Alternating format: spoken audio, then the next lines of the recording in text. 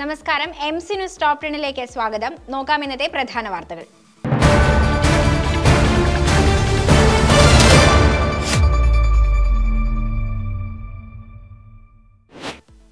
Canadian സമ്പദ് വ്യവസ്ഥ നാലാം പാദത്തിൽ ഒരു ശതമാനം വാർഷിക നിരക്കിൽ വളർച്ച കൈവരിച്ചതായി സ്റ്റാറ്റിസ്റ്റിക് കാനഡ റിപ്പോർട്ട്.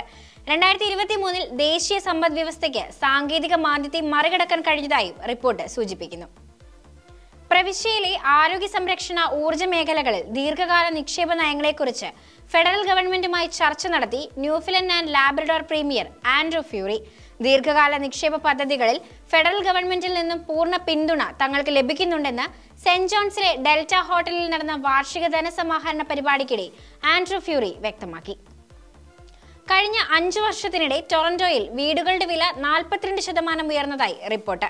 ഇതോടൊപ്പം ജീവിത ചെലവിൽ പതിനേഴ് ശതമാനം വർധന ഉണ്ടായതായും real estate website Zoocasa dot com റിപ്പോർട്ടിൽ പറയുന്നു.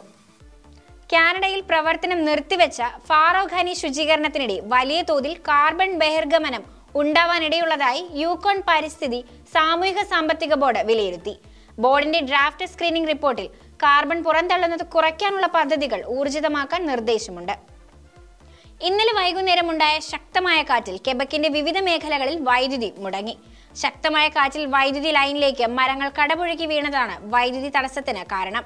പ്രവിശ്യയിലുടനീളം ശക്തമായ കാറ്റും മഴയും ഉണ്ടായിരുന്നതിനാൽ മൺട്രിയോളിന്റെ ലൈറ്റ് റെയിൽ ലൈൻ പ്രവർത്തനരഹിതമായിരുന്നു.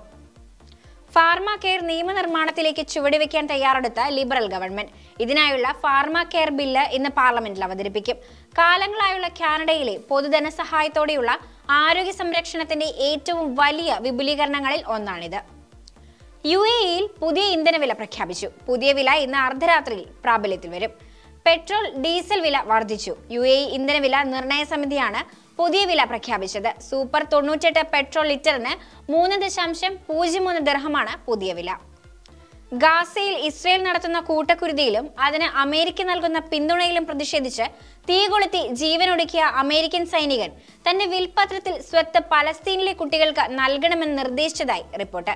അമേരിക്കൻ വ്യോമസേനാംഗമായ ആരോൺ ബുഷ്നെയിൽ ആണ് തന്റെ സമ്പാദ്യം പലസ്തീൻ ചിൽഡ്രൻസ് റിലീഫ് ഫണ്ടിലേക്ക് സംഭാവന ചെയ്തത്. സംസ്ഥാന നിയമസഭ പാസാക്കി ഗവർണർ രാഷ്ട്രപതിക്ക് അയച്ച ഏഴ് ബില്ലുകളിൽ ഒന്നിനു മാത്രം അംഗീകാരം.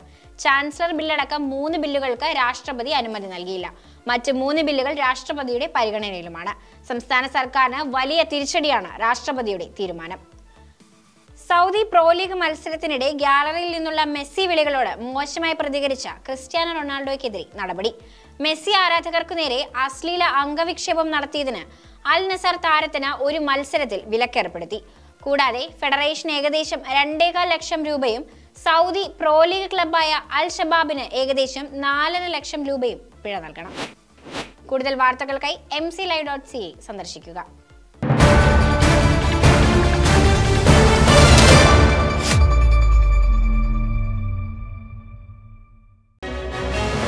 എം സി ന്യൂസ് കനേഡിയൻ മലയാളികളുടെ വാർത്താ ജാലകം